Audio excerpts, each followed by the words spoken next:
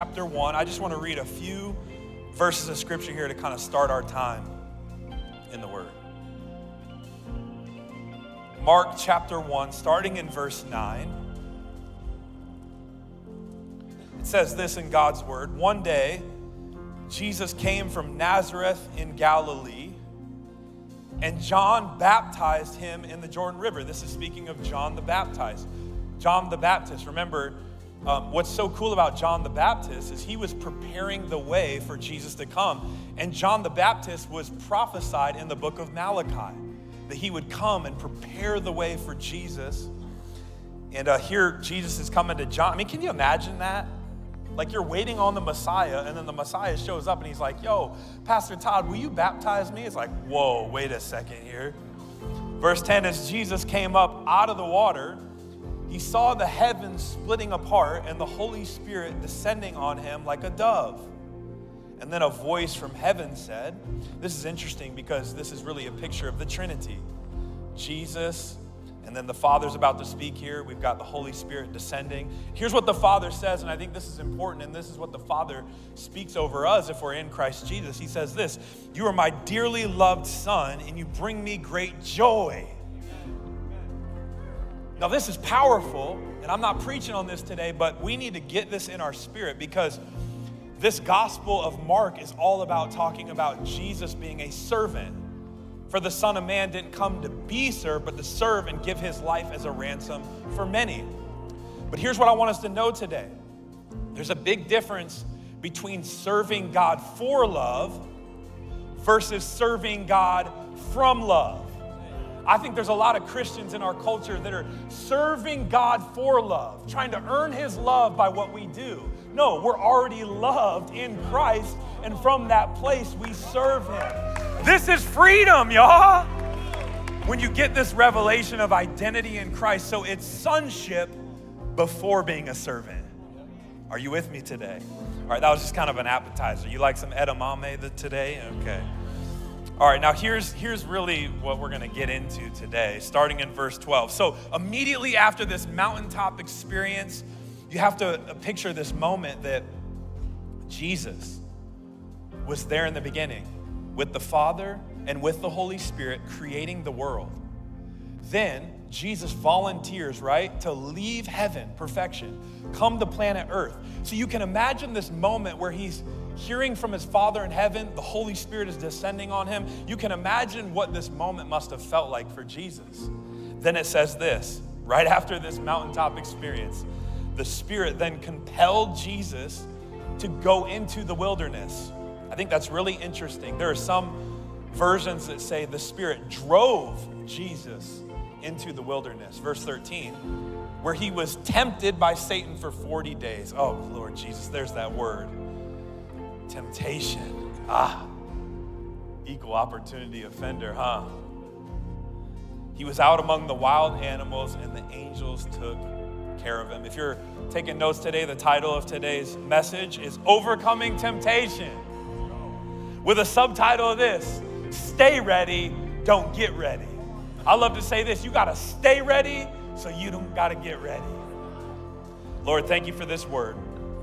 I pray that as we as we lean into your scriptures, that you would strengthen us to overcome temptation. Thank you that we don't have to do it in our own strength, but you've given us the helper, the counselor, the one that walks with us, the Holy Spirit. Lord, today, I pray that you would give us wisdom, that you would, even right now, just eliminate distractions in our hearts.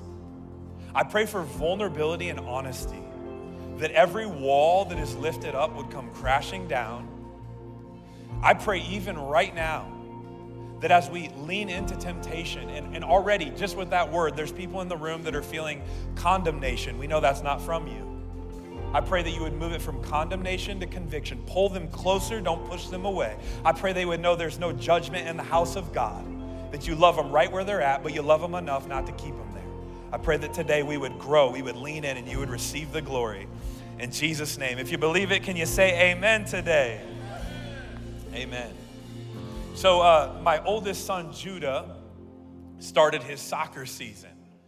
And week one, uh, we were playing at the center, the indoor facility right there uh, off of Giles, and it was nice. The elements uh, weren't getting to us. But then every game moving forward is outside. And so yesterday, we, you know, I rode with my pops, and they got to come and watch Judah play soccer and run around. And we didn't really dress for the weather, did we? I think we uh, underestimated the wind.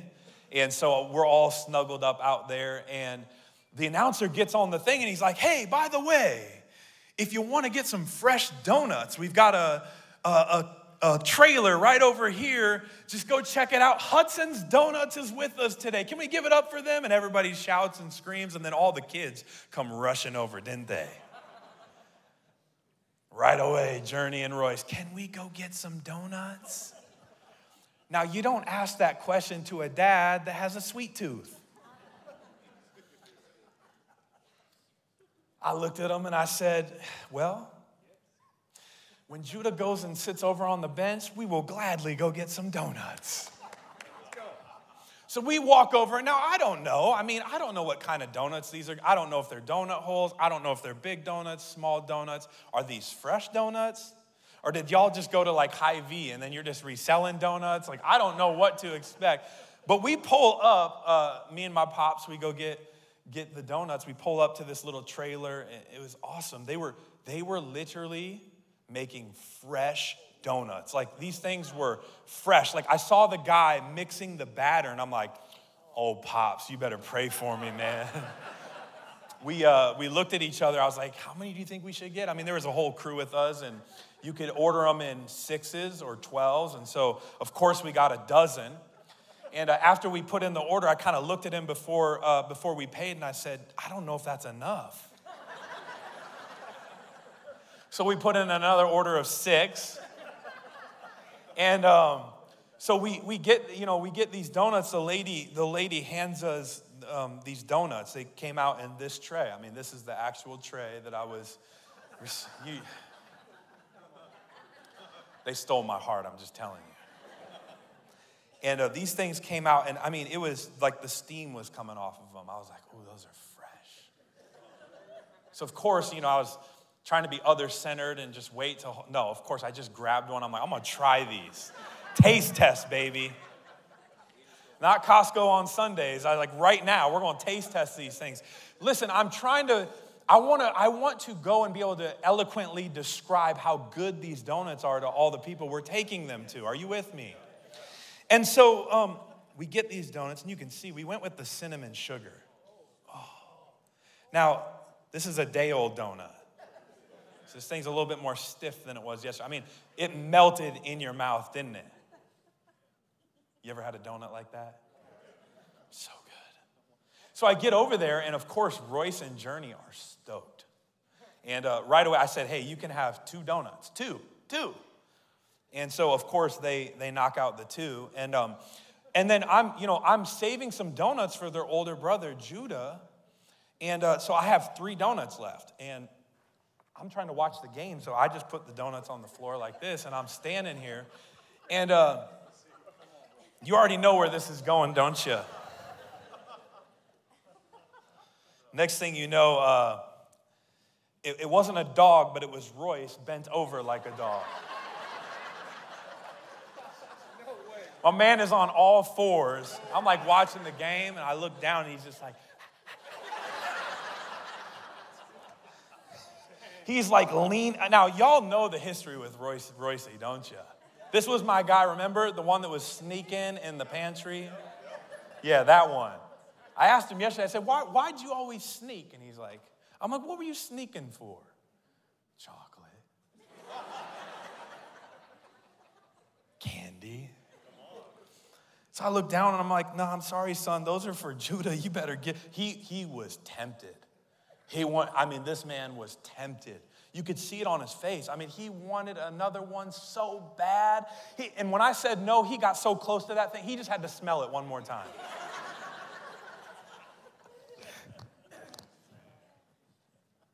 you know, I, I, this moment was happening, and, and, he didn't even know that, that you know, this week I'm, God's asking me, sent me on assignment to preach about overcoming temptation. I started to think that, you know, Royce is not the only one in this building right now that experienced temptation this week. So I, want you to think maybe it's not a donut. But the question is, is in this season, what is the temptation in your life that's coming against you? And the second question I would ask you is Are you overcoming that temptation, or is that temptation overcoming you? You know, if we're just really honest, I think that we all experience temptation. There are moments when we overcome because the overcomer lives in us, and there are times that we are overcome by the temptation. Anybody want to be honest in church today? Anybody want to be vulnerable in church?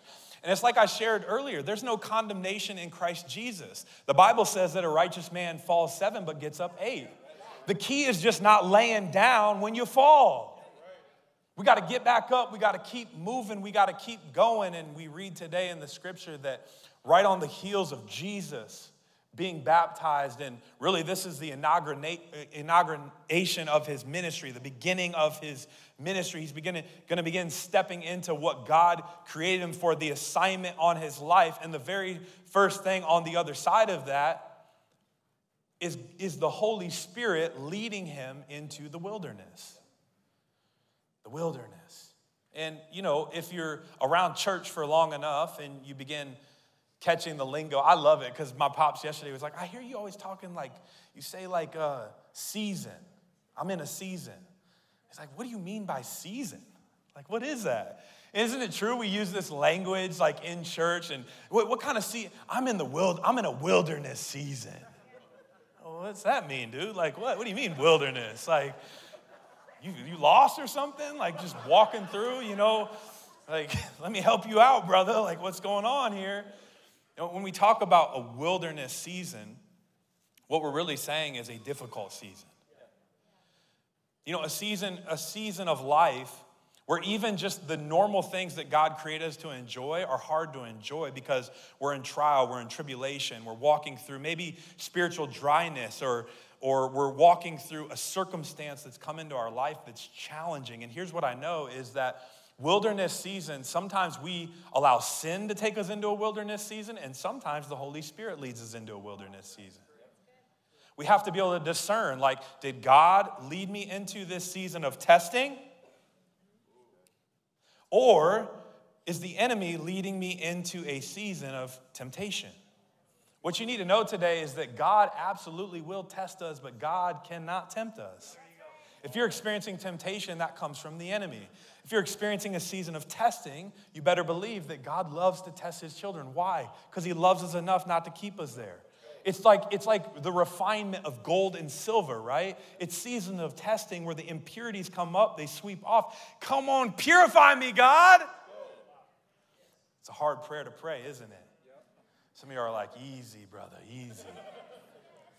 I don't know if I want that. Now, I think we do need a little bit more context to this particular story because the Gospel of Mark, he's getting to the point now. A man's not given much detail. So some of us, we, we want a little bit under, more understanding of, of what's happening uh, in this particular story. So I want to just read some scripture from Luke chapter 4. Luke, the Gospel of Luke, tells this same story with a little more detail. Can I do that? Luke chapter 4, 3 through 13. Just tune in for a second. It says this Then the devil said to him, so this is Jesus in the wilderness, if you are the Son of God, tell this stone to become a loaf of bread. But Jesus told him, and I love this, we'll get to this later. No, the scriptures say people do not live by bread alone. Then the devil took him up and revealed to him all the kingdoms of the world in a moment of time. I will give you the glory of these kingdoms and authority over them, the devil said, because they are mine to give to anyone I please. I will give it all to you if you will what? Worship me.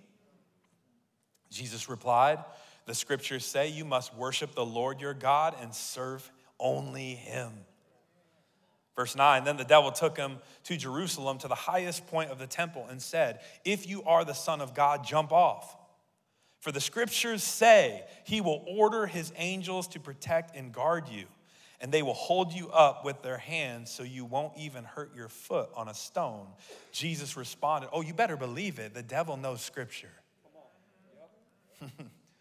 he will use half truths to deceive you. Jesus responded, The scriptures also say, Oh, this is why we're so passionate about self feeding. Oh, this is why you need to grab a reading guide on your way out today.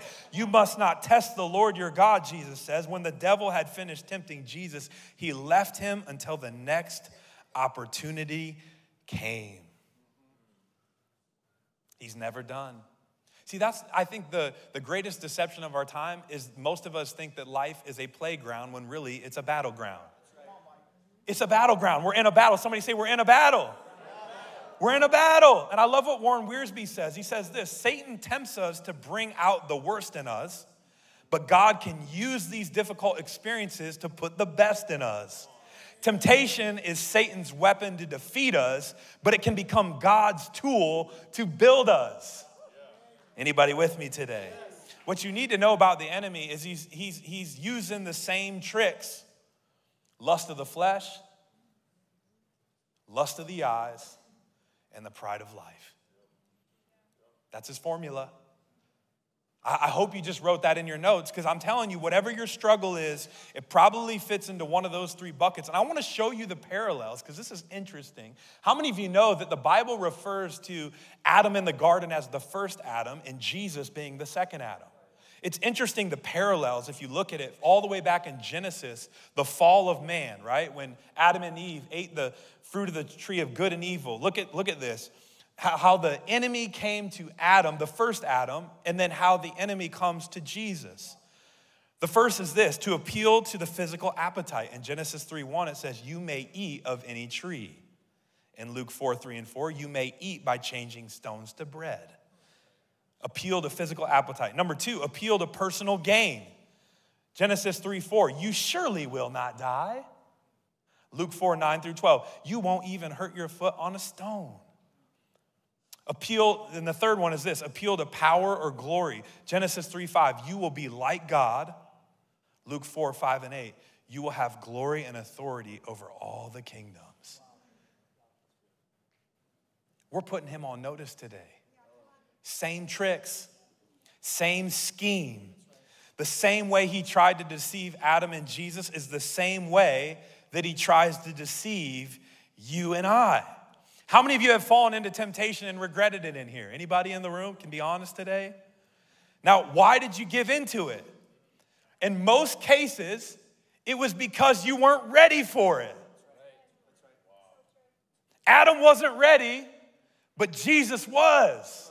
And I believe that Jesus was because number one, Jesus knew his identity. And because he knew his identity, he could walk in his authority. Oh, somebody needs to catch this today. Some of you aren't walking in authority because you don't know who you are. You don't know whose you are, and you don't know what God calls you to. The values of the Word of God haven't been implanted deep into your soul, and as a result, you're walking around with no authority. No, we're gonna get our authority back today. Is anybody with me today? Because when you know your identity, you are more likely to walk in your authority. Will you be like Adam or will you be like Jesus? Somebody repeat this after me. Stay ready, so you ain't got to get ready. Stay ready so you ain't got to get ready. Anybody ready to get ready in here today? Ooh, we're going to get ready. We're going to get ready. 1 Corinthians 16, 13. Paul even, he, he affirms this. He says this, be on guard. Stand firm in the faith. Be courageous. Be strong. Matthew 26, 41. Remember this? Jesus speaking to his disciples, keep watch and pray. Here it is, so that you will not give in to temptation. For the spirit is willing. Oh, come on, isn't the spirit willing? But the body or the flesh is weak. You ever just, I mean, you ever just think that? Sometimes I'm like, man, God, thanks for a new spirit, but why do you got to keep me in this flesh, man? Oh, fresh new spirit. But we got to keep these uh, flesh suits on until He calls us home and gives us a new body. A new body. I'm ready for the new body. How about you? Now, some of you are asking, well, why do we need to be ready? Why is this guy talking about be ready and screaming at me and spitting on us? And why is he all excited? Why, why, why do we need to be on guard? Number one, because the devil's coming for you. His mission is to kill, steal, and destroy God's purpose in your life. 1 Peter 5 8 says, Stay alert, watch out for your great enemy, the devil. He prowls around, here it is, like a roaring lion, looking for someone to devour looking for someone to devour. I think it's interesting that it, that it, that it compares him to a lion. Lions, if you think about it, when they're attacking, who are they trying to attack? The weak one, the slow one. When we don't know our identity, we're weak. We're not walking in authority. So we're, we're, we're just opening ourselves up to be attacked, to fall into the temptation. I think the second reason is this is sometimes you and I, we overestimate our strength. Come on, you ever walked with a new believer that's like set free and they're like six weeks in and they're like, yeah, I'm good now. Ooh, I'm like, uh, hold on now. Come on now, pride comes before the fall. We just we just moved you from independence to dependent. Don't go, don't be moving back into independence now. There's something powerful. We got, we got to fight for this humility, this, this, this idea of, of staying tethered to Jesus staying connected to Jesus, coming before the King of Kings and the Lord of Lords with reverence in the secret places. Anybody with me today? And when we stay in that place of humility and dependence, now we get into this place where we don't overestimate our strength. There's a sober warning in scripture in 1 Corinthians 10 12. It says, If you think you are standing strong, be careful not to fall. Isn't it true? The devil's coming for us. Sometimes we overestimate our strength. And I know that some of you, you're tired today. You're like, I can't believe this guy is talking about this. I, I, I, I was tempted all week long, and, and I'm just, I'm tired. And it is. It's ti- Fighting temptation is tiring. It takes so much energy, and our willpower and self control begins to wane. Is anybody with me in here today? So we know this that, that, man, the enemy wants to kill God's purpose for our life. And in the same way that he came after Adam and Jesus is the same way uh, that he's coming after you and I, but we're gonna get ready. Y'all ready to get ready? Somebody say, stay ready. Stay ready. So I ain't gotta get ready. Here's how we're gonna get ready. Number one, you can write it down. Stop flirting. Ooh. Stop flirting. I wrote this in my notes. You need to step away from the fence. I'll, I'll never forget this illustration, Pastor Ty uh, Schenzel. I loved it. He, he gave this illustration as like, think of a fence, and on like on one side, I'm walking in God's design for my life in purity, honoring Him, not perfect, but perfect in Christ, but continuing to walk out my salvation and sanctification. And then on the other side of the wall or the fence is sin enemy's camp, like just given over to it, right? And I thought this illustration was so brilliant, but he said, so many of us, can you just kind of picture a fence right here? Can everybody just picture a fence right now? You know, some of us, we just like to live, we like to live life right here. Ooh, brushing up against it. Ooh, that grass looks greener on the other side, right? Isn't that how the enemy gets us? No, the grass is green where you water it. And most of us, this is what we do. We live our life right here. We're just flirting, man. As a matter of fact, some of y'all are just, you're sitting on the fence right now. Yeah, Jesus, you're my victory. Woo! Next Friday night, uh, hey. oh, oh, I'm just, oh, we, we can't be real in church. Okay, okay, okay. So, what we need to do is we need to stop flirting. There's actually, it's funny, I, I, I wrote this quote down. Playwright Oscar Wilde said this jokingly. He remarked, I can resist everything except temptation. Isn't it true? We, we like pray, God, deliver me from the temptation. And then we just want the temptation to come visit us every once in a while. It's interesting because we, we, we've, we've, we've got to we've got to we've got to move the fence. We've got to move the line. We need a new line. That's what Pastor Ty was saying. He's like, man, move away from the fence. Move away from that thing. Don't be like the guy I read about that was like going on a new diet. And he shares this story about how, you know, he needed to lose some weight. And he was on his way to work and he was driving on his way to work. And he always would stop and get a coffee um, from Krispy Kreme.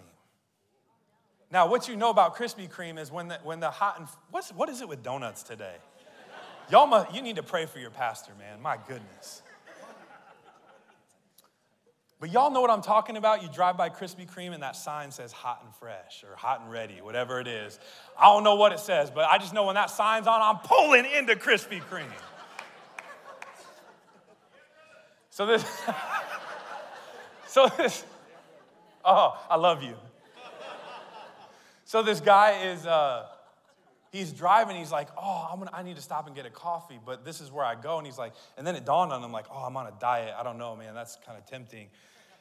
So he's like, Lord, if the if if if there's a if there's a parking spot in the in in the front of the store when I drive by, then then I feel like that's your invitation for me to pull in.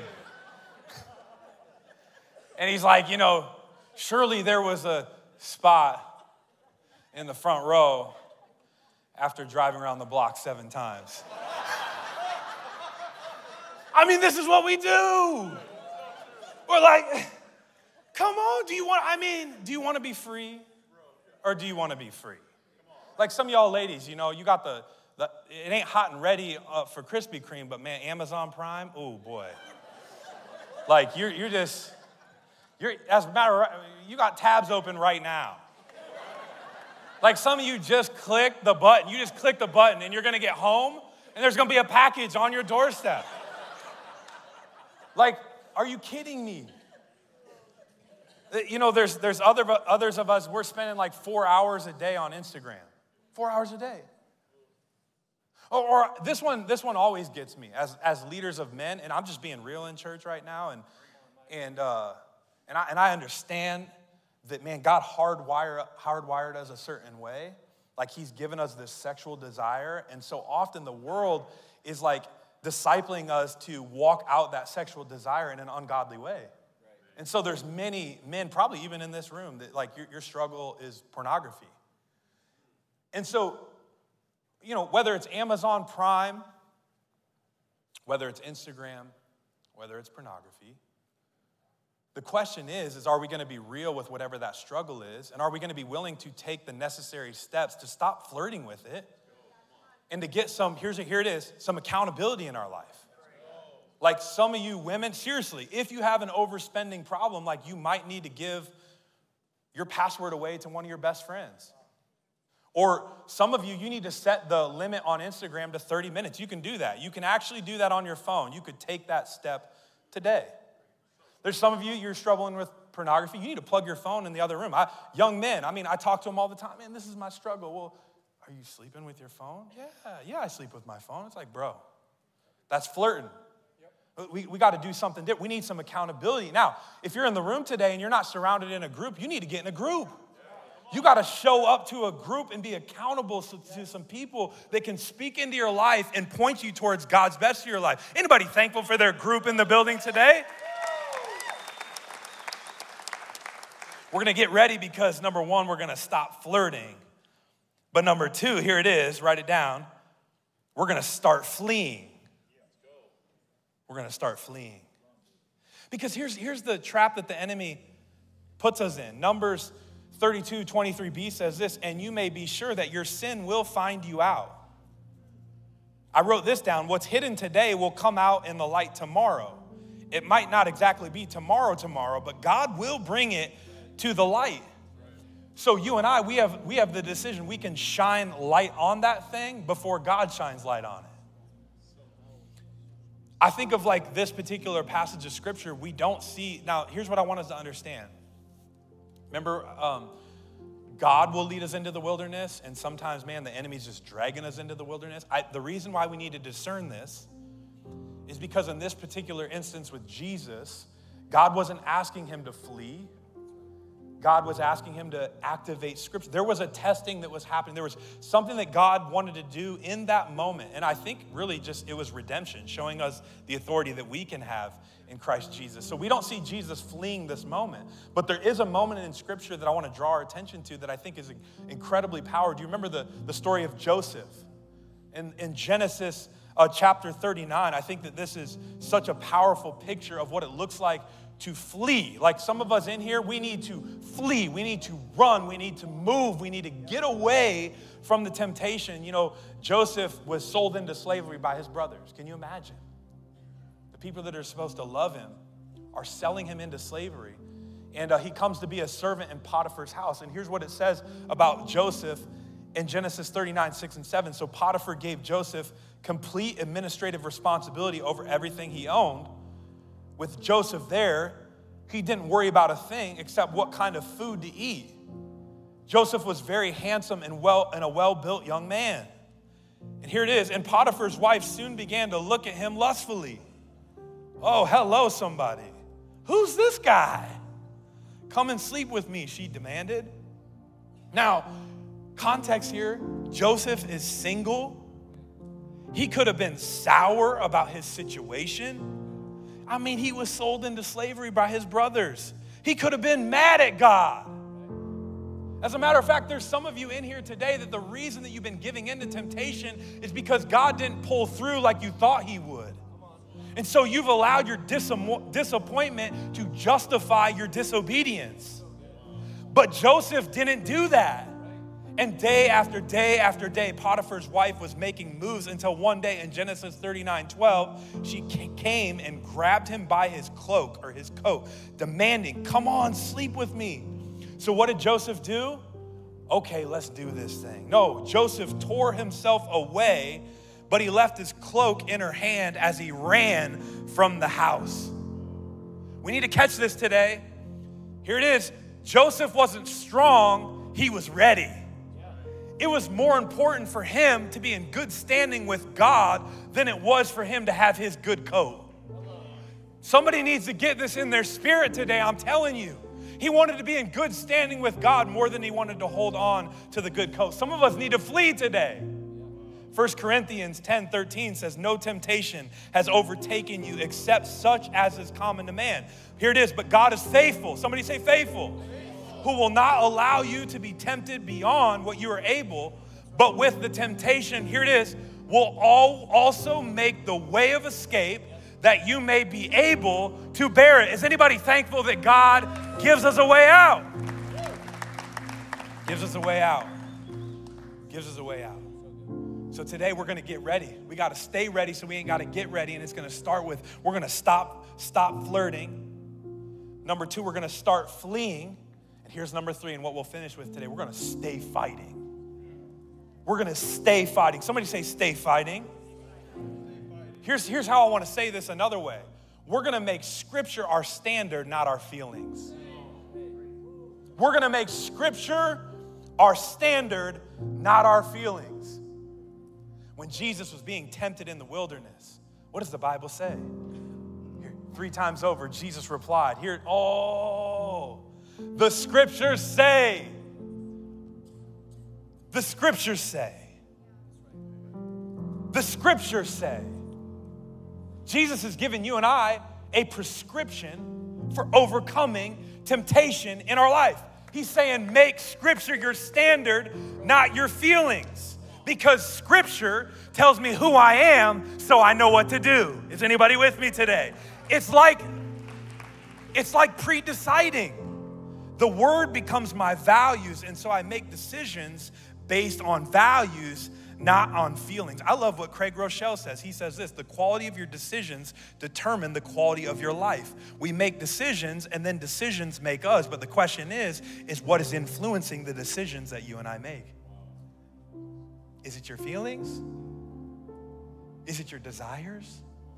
Or is it your values? Is it, is it the word of God that you've planted deep in your heart? Is it Job 31, men, that says, I'm gonna have eyes for my wife?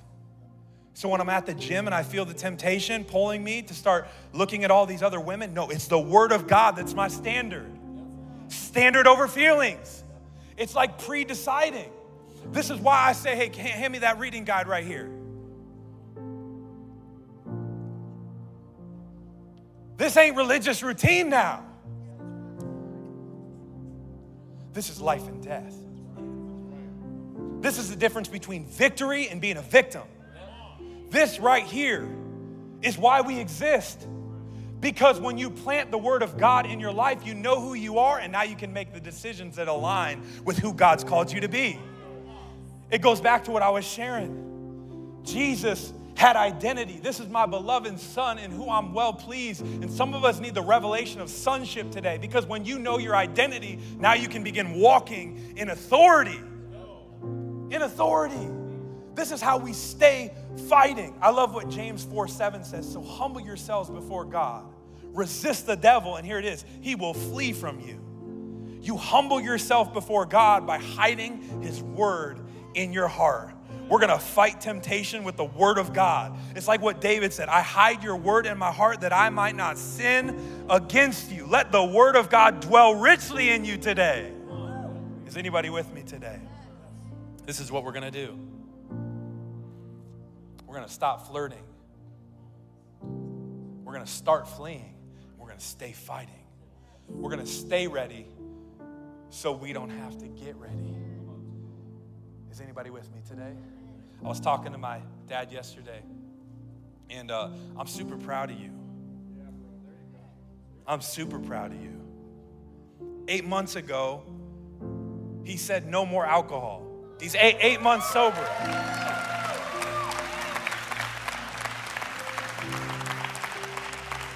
I remember when I remember uh, when he called me to talk to me about this, and uh, it was great. We had an amazing discussion. And, and, you know what I told my dad, and this is what I tell all the guys. You, y'all, y'all in my men's group, you know this. Alcohol isn't your problem. Alcohol is what you use to cover up the problem. There, there are just in all of us, we all experience woundedness and difficulty. And you know what most of us do is then and this is what I need us to understand. When you're wounded, you're most open to be the enemy coming in. That's when you're vulnerable. So you ran to drugs or sex or spending or whatever the case is. And yes, now we need to deal with that issue, but there's an issue beneath the surface that needs to be dealt with. And it was funny because we were we were laughing and joking, and I love the self-awareness. He said, uh, he said, he said, yeah, I'm I'm eight months sober. Haven't, you know, haven't been drinking alcohol, but the last few weeks I realized that, man, I've been eating a lot of chocolate. I have him to blame for my sweet tooth. Oh no, we're gonna break, we're gonna break off that generational pattern today in the name of Jesus. Bridge mix, we were laughing about it, yeah. That stuff that's like five bucks at Hy-Vee. My man just scarfing it down. He's recognizing that the temptation to go to the booze hasn't been there, but to go to the chocolate has been. And he, but here's the thing he's saying, Man, I don't want to do that any longer. Went to his mentor. His mentor's like, Hey, man, the same way that you were able to overcome alcohol is the same way that you're going to be over, overcome, overcome the chocolate. And so, what is it? Yeah, come on, you can give God some praise for that. So, what is it for you today? Where are you vulnerable? Where are you vulnerable? Maybe it's in your pride. Maybe it's in materialism, greed, comparison. I don't know what it is, but here's what I do know is that God wants you to be ready so you don't got to get ready. He wants you to stop flirting. He wants you to start fleeing. He wants you to stay fighting so that you can walk out God's best for your life. Father, thank you for this word. Thank you for this word that you've given us a game plan on how we can overcome temptation. So, God, I just pray even now that you would just continue to minister to us, that you would, that you would strengthen us today, that you would fortify us today, that there would be a level of humility, honesty, and vulnerability in the room today. That we wouldn't keep our sin or the temptation that we're struggling with in the dark any longer, that we would just openly bring it to the light. And as we bring it to the light, chains and weight would fall off and a new level of freedom would enter in. We know you can do this by the power of your Spirit. Now, I want to specifically just take in this moment of response. I know that some of you are being stirred up today. Just if, if, if you'd be so honest in here today, if you're, if you're like, you know what, I want to overcome temptation in my life, the one that I'm struggling with, just lift your hand in the air. I want to pray for every single one of you in the room. Yep, I see hands all over. God, thank you for your people today that are, that are honest about the temptation that they're battling. And I pray, God, that you would help them to stop flirting, to start fleeing, and to stay fighting. God, I pray they wouldn't do it in their own strength, but they would do it in the strength of your Holy Spirit. In Jesus' name. Now, before I say amen, I recognize that there's some of you in this room today. Um, and this is this is just such an it's been such an interesting week for me. It's so bizarre that we're walking through this very through a very similar time. But on Friday night, um, I had the the honor and the privilege of doing my father-in-law's uh, celebration of life service. We, we lost him a couple weeks ago, and it's been a, a really difficult time. But anytime death happens close to you, you're reminded of the brevity of life. And man, talk about being ready. Talk about staying ready so you don't have to get ready. The reality is, is man, the Bible says that every knee will bow and every tongue will confess that Jesus is Lord. It'll just either happen while you're here on earth or after you take your last breath. But the problem is, my friends, is that if you wait to confess Lord, confess Jesus as Lord until after you leave the earth, it's too late. This isn't his heart for us. But I need you to understand this in here today that God is holy, He's blameless, and He can't have anything to do with sin. And the Bible says that we've all sinned and fallen short of the glory of God, and that creates a chasm, that creates a separation. And this is a problem, y'all. It's a big problem because it doesn't just mean separation in this life, but in the life to come. But Jesus loved you and I so much that he left heaven on the greatest rescue mission of all time. He came and lived the life that you and I could never live. He went to the cross and, he, and he died a brutal criminal's death. He was crucified. They put him in a grave, and three days later, he rose. And that's what we celebrated last week is that the grave is empty. And the same spirit that lifted him out of that grave is the same spirit that roams throughout the earth and invites people into relationship. Jesus created you and I for connection, for fellowship, for relationship. And the opportunity here today to make peace with God is it's available. Today is could be your day. Today is the day that you could say, "Man, I don't know how much more life I have, but I'm going to be ready." And when I take my last breath here on this earth, it's going to be my first breath in glory in heaven with God for all of eternity. Do you want that in here today? I don't know where you're at in the room today, but let's go ahead and stand to our feet. And I'm going to ask you to take a bold